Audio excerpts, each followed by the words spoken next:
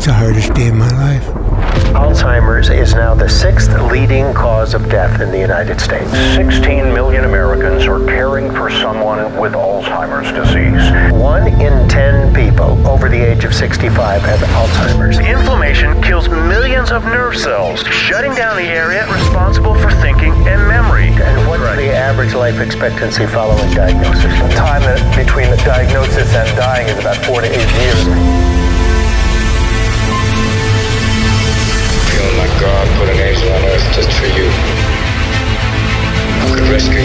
depths of hell.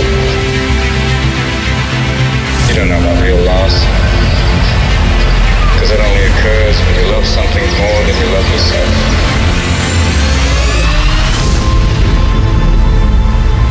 We're all in our private traps, clamped in them, and none of us can ever get out.